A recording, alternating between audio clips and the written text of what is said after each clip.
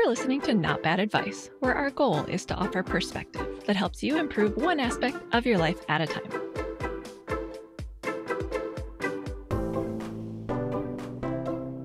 I'm Pamela Lund. And I'm CK Chung. And we hope that after listening, you'll think, hey, that's not bad advice.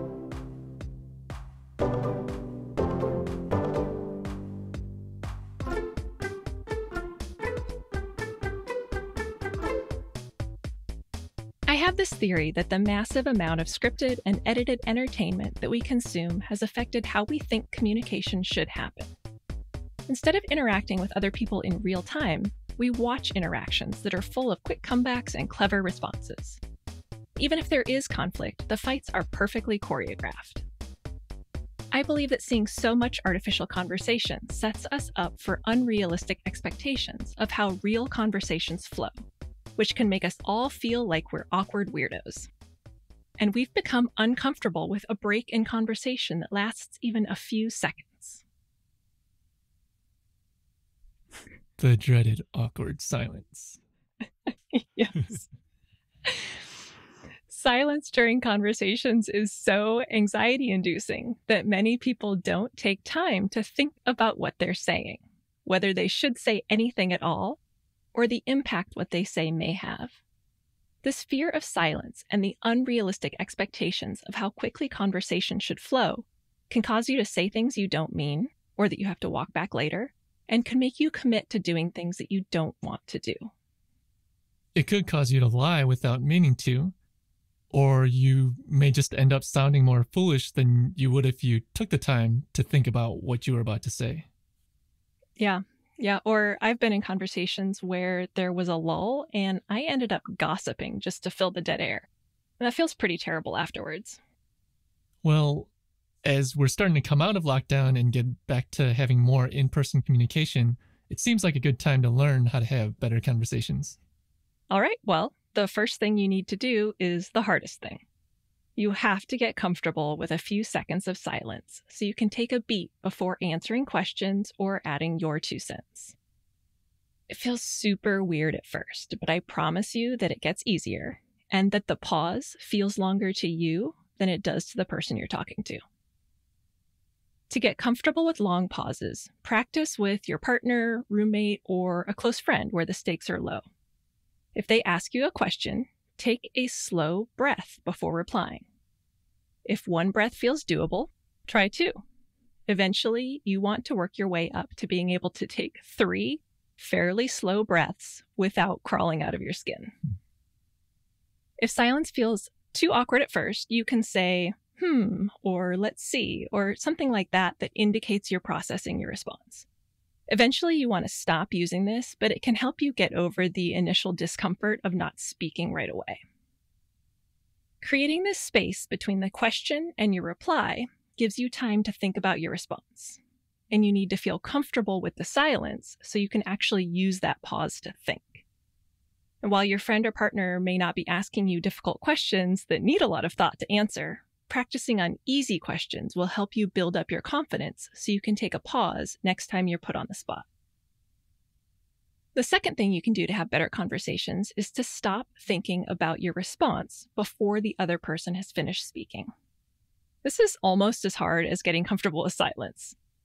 But if you're already thinking about what you're going to say, you've stopped listening to the other person and you could miss out on valuable information that may change your response. We need to practice mindfulness in conversation. There's so many important cues that you can pick up on when you're focused on the other person instead of on yourself. Their facial expressions, body language, and the kind of words they use all give you valuable information that you might miss if you're not paying attention. Exactly. If you're used to practicing presence and mindfulness in other areas of your life, it's the same principle. And doing it in conversation will help you get comfortable with silences because you'll be forced to take a second to think about what you want to say since you won't already have your response ready before they're even done speaking. The third thing you can do to improve conversations is get comfortable saying no and I don't know. Learning how to say no confidently is a life changing skill we just did an episode called How to Say No, so go listen to that one if you missed it.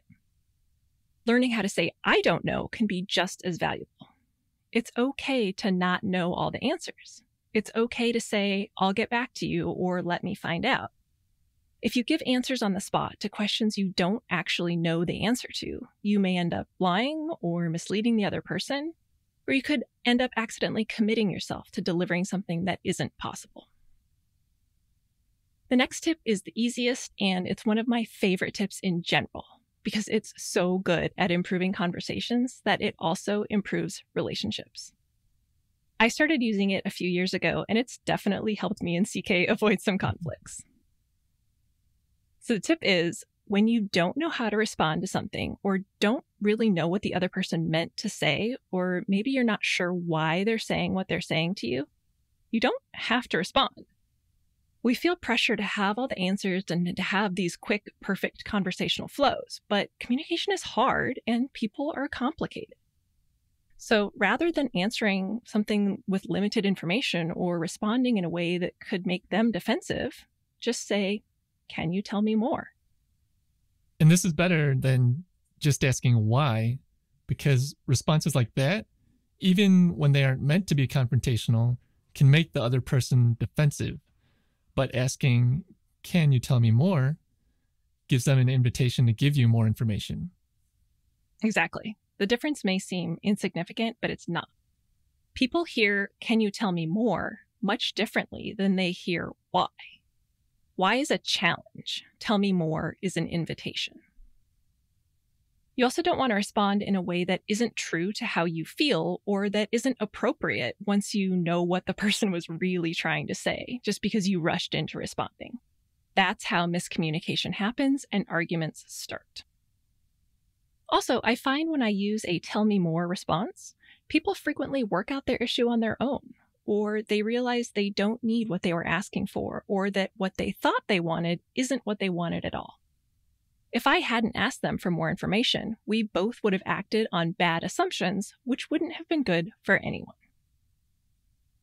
Once you get the hang of this, you can upgrade your communications even further with two simple interview techniques that I noticed are fundamental strategies used by therapists and hostage negotiators.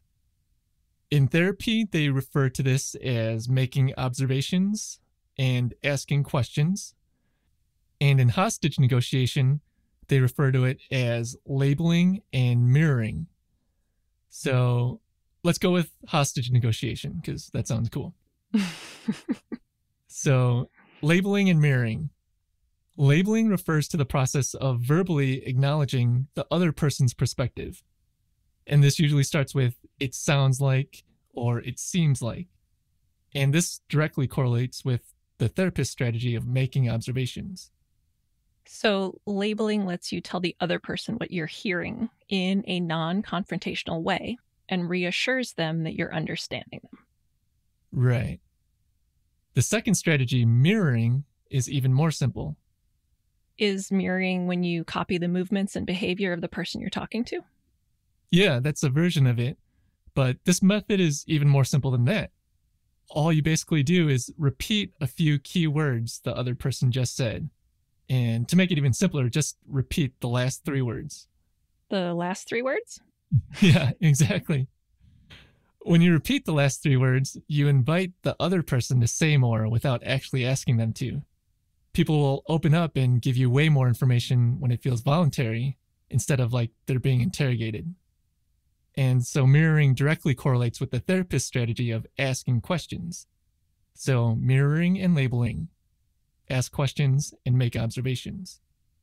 Okay, so the three things are get comfortable with silences, get comfortable saying no and I don't know, and ask for more information when you need it, possibly using labeling and mirroring. Doing all those things will dramatically change the outcomes you get from your conversations.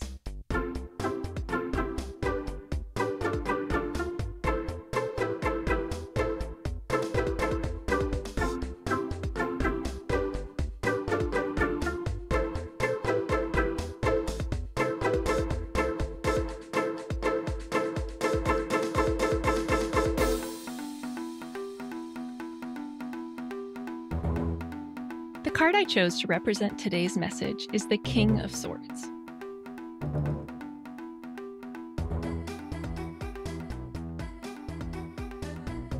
In tarot, swords are associated with the element of air. Air is related to breath, of course, but also with our thoughts and ideas. Conversation is the exchange of air, it's the flow of breath and thoughts. It can be a gentle, easy breeze, it can be a gust of wind that nearly knocks you over, or it can be a tornado that destroys everything in its path. The way you use your air affects the outcome you get. Kings in the tarot represent leadership. If you think of king stereotypes, there's the kind and tough leader that does what's best for his kingdom, even if it's not what feeds his ego. And then there's the power hungry king that only does what makes him feel big and powerful, which eventually leads to his own downfall. The King of Swords asks you to stay solid and present in conversation, even or especially when it's difficult. It asks you to know the difference between true power and bravado. It asks you to use your breath to ground yourself and speak in alignment with what's best for you and the situation. Practice using your inner King of Swords in conversations and see how much your interactions improve when you feel powerful, confident, and present.